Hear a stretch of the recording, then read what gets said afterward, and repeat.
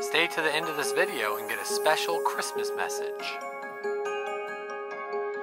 So we only have a few days before Christmas and we're gonna be doing some fun things today.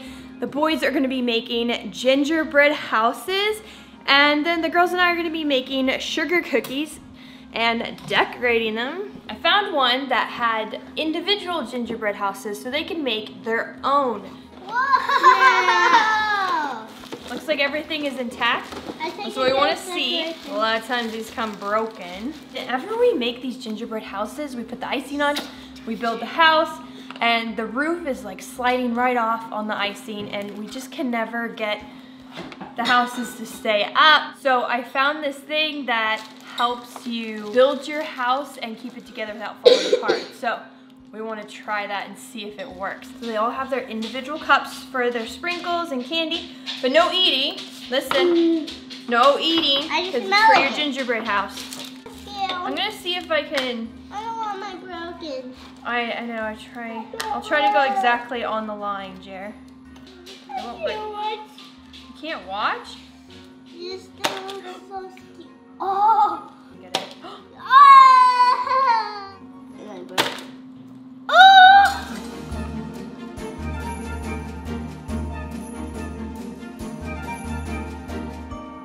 Oh! Not broken one. That's I'm broke. But Jirah can fix Fix things. it. I'm gonna get the sugar ready and oh, we'll let the boys piece their houses together and decorate. For the gingerbread houses, we're gonna make edible glue. Add your sugar to a pan, stir it continually on low heat, and it'll turn into a liquid form. You can just add that to your gingerbread platform, and it turns into a solid glue, and your gingerbread house will not fall apart.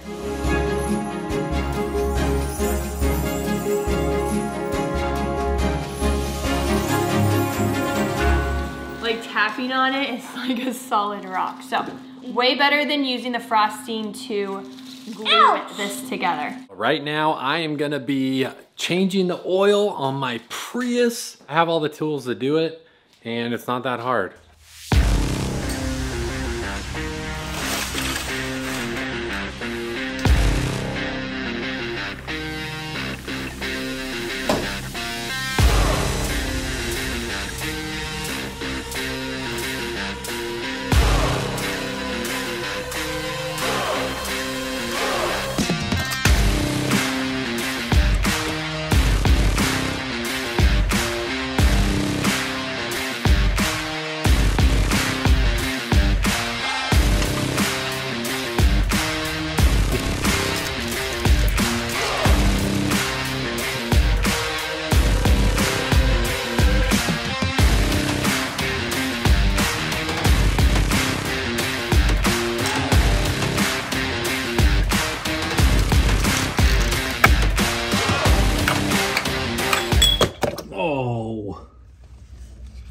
Bad idea.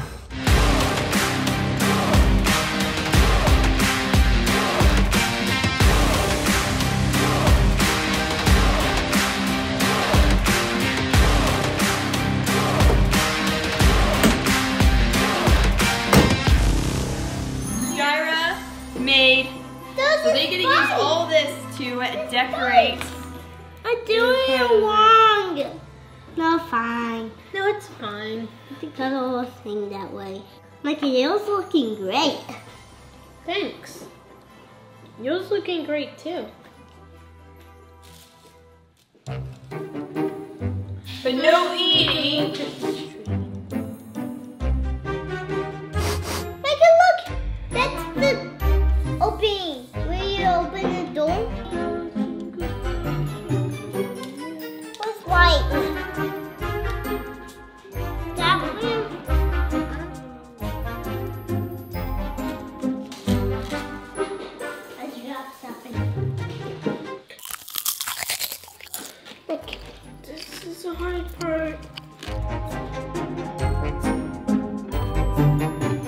Has the candy shop.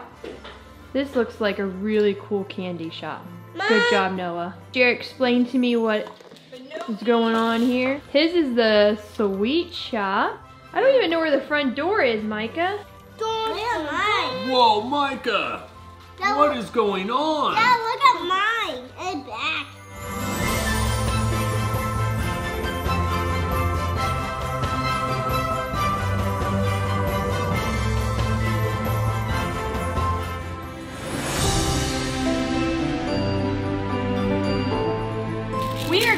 Making sugar cookies. Earlier today, I left this dough in the fridge and now it's ready to bake.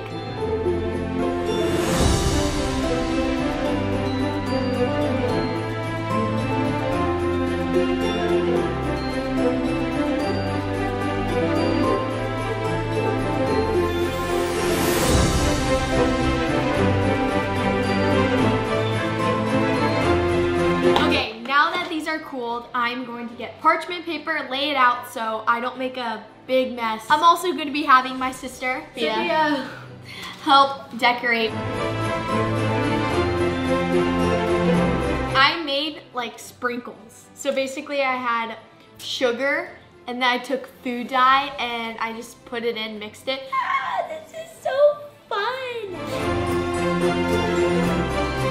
Sophia decorated all of these. All these ones, we had like a little contest. These are all mine. I try to make it, oh wait, oops. I try to make an ocean. It looks like a cotton candy ice cream cookie. I need someone to taste test them because what if they're not even that good? Yeah. Okay, so which ones do you want to try? It's upside down. Yeah. Look at that one. That one's the ocean one. Okay, try it.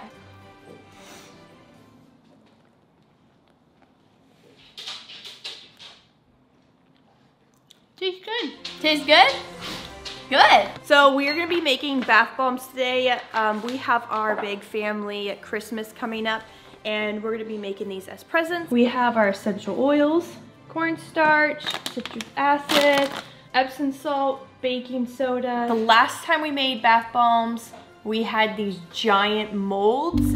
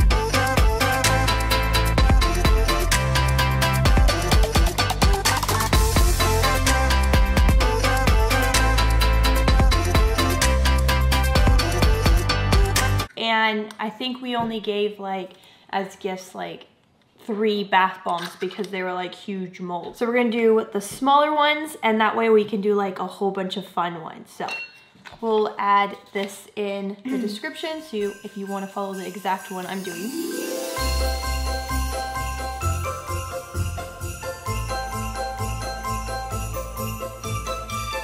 Do you think that's good? Yeah. A little wet? Let me try. add a little that's bit good, more that's water? Good, that's good. Is it? Yeah. First, we're gonna put lemon essential oil inside of it. We have lavender. And then we're gonna be using our lavender buds. it smells so good. Look how pretty that is. Eucalyptus is really good when you're not feeling good and it just clears, clears all your sinuses. So that's a good one to have during this time of year. Two molds. You kind of go like this. I think it's coming Look. So we're gonna let it sit on the plate and dry because right now it's very fragile. Okay, I did this. We learned that pressing hard wasn't the good way. We we learned that you don't. We learned. You wi- you could you do you wi- What did we learn? We have a couple fan mail from you guys, from the Merriers. Sophia is gonna read the Rodriguez family. Dear Moore family, Merry Christmas. May God bless you and your family in the new year. Your biggest fans. Everyone did a pretty good job getting all of us in there. It says, I'm Ruby. I am eight years old. We live in Alaska. Ruby drew this little photo. Oh, it's to Jirah and Sophia. No, it's just fair. I'm 13 years old. I live in Alaska and I have two dogs. Merry Christmas from Elizabeth. Fun fact, my middle name's Elizabeth. Mm-hmm. Oh, wow. Oh, they have names for everyone. Everyone Oh, gets gets- for the baby. Oh, That's so cute. I made Jirah's biscuit recipe for Easter. It was so good. Always looking forward to new videos. They keep hours. popping in half. We can't keep the ball together. It just splits. Thank you, Merriers, for all your letters. It's always a lot of fun reading and getting to know you guys. The work that goes into making these. Our pre How much Yeah. the ingredients cost? Ah, a pain to make. We're done with the bath bombs. This is literally the messiest project I have ever encountered or tried to attempt. I doubled the recipe and we still barely made any. And these bath bombs are so tiny. And it was difficult to get out of the mold. So I don't know what's the easier way to do this. Look, this is all of our hard work, all of our bath bombs. See, this is what happens. This is what happens. That's all we were able to make. We put it in, we do it really good. And then we just open it up and it's just like, It, it cuts right in half. We keep adding more coconut oil, more water. Maybe that's why. But it does work. We tried one of these in the like in a cup of water and it dropped it in and it went. We're gonna let these dry out and then we'll package them up as gifts. All right, the girls are gonna clean up this mess and I'm going to go take a nap. We have a Christmas tradition in our family where we kind of just put the camera on a tripod and just let it go just for our keepsake. It's fun to see how the kids have grown up all these years. My name is Jeremiah. I'm six. my name is Jirah and I'm 14. My name's Sophia and I'm 12. And for no, I, my name is Micah, and I'm eight years old. My name is Mike and I am 36 years old. Why do you have to say your name? I feel like. You're Savannah. I'm doing this just to make Savannah feel off. 35. Oh, Savannah's not coming over. Okay. Wait, but. Christmas 2022. 13. I I'm Sophia and I'm 11. My name is Micah, and I seven. I Noah. Say Chickly.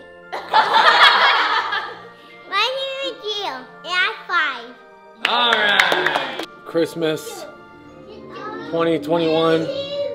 We are moving, so the downstairs is all messed up. So we got to have our Christmas up here. Are you doing? Are we all friends? Yeah. All right. My name's Jirah and I'm 11. I'm Sophia, and I'm nine. And I'm my uh, I buy. I, I did nine and How old are you? Three? That. Three. And this is Noah and he's one. And my name's Mike, and I'm 33. Oh wow. And mommy is 32. This is 2019 Christmas. 2018. Savannah's pregnant. 2017. Are you seven months, dude? Yeah. We started a new vlog. We started a new vlog, and we almost ended a new vlog the other day, Yes. but we're gonna try to keep going. We're celebrating our Christmas Oh yeah, and where are we? at our new house. Our new house, huh? Christmas 2015. Micah Man Okay. is six months. Jirah is six and Sophia is four. Right? Pretty sure you're four. Hey, Jirah. What are you doing? What are you doing? In order to fully appreciate the true meaning of Christmas, we need to go back to the beginning of time.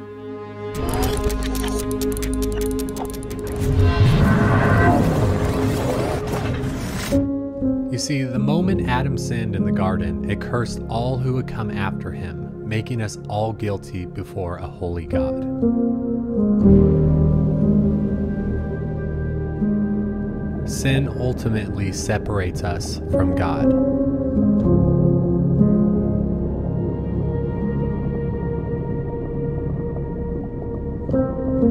Our sinfulness puts us in the crosshairs of a holy God, putting us all on the same one way path to judgment.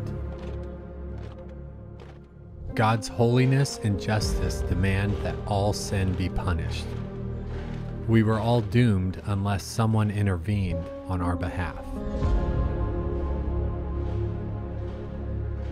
For God so loved the world that he gave his only Son, that whoever believes in him shall not perish but have eternal life.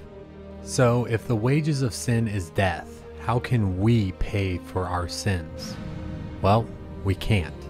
So, God the Father sent Jesus to take on flesh like you and I embody today, so that Christ could die and destroy the one who has the power of death, and that is the devil. For our sake, God the Father made Christ to be sin who knew no sin, so that in him we might become the righteousness of God. And this is the great exchange. Not only did Christ die on our behalf, but he also gave us his righteousness, so that we can stand before God holy and blameless only because of the righteousness of Christ. And I will leave you with this verse. But God, being rich in mercy, because of the great love with which He loved us, even when we were dead in our trespasses, made us alive together with Christ. For by grace you have been saved through faith, and this is not of your own doing. It is the gift of God, not as a result of works, so that no one may boast. So this Christmas, let's remember that there is no greater gift than the gift of Jesus Christ, and to Him be all the glory.